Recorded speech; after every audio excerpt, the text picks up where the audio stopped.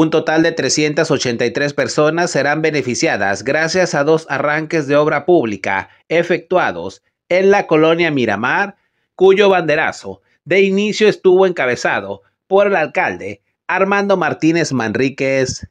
En la primera instancia, informó el director de Obras Públicas del municipio, Carlos Tenorio García, que la primera de ellas corresponde a la pavimentación de concreto hidráulico, red de alumbrado, así como construcción de guarniciones y banquetas en la calle 24 de febrero, entre calle Cuarta y calle Sexta. Ahí indicó el funcionario que habrán de trabajar con recursos provenientes del Fortamun 2022 mismos que ascienden a 4.457.421 pesos para la construcción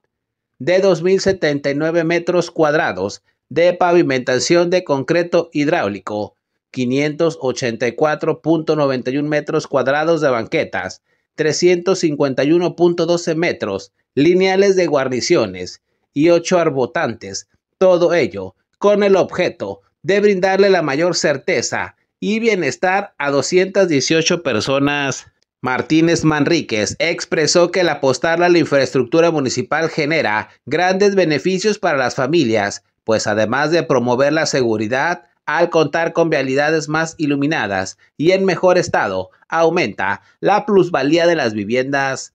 En lo que respecta a la segunda obra de este sector, serán aplicados 2.265 metros cuadrados de pavimentación de concreto hidráulico, 338.7 metros lineales de guarniciones, así como 671.92 metros cuadrados de banquetas con 8 arbotantes en la calle Quinta, entre calle 24 de febrero y calle Chihuahua. Para ello serán implementados 4.642.401 pesos provenientes del programa Hidrocarburos Región Terrestre, en concreto noticias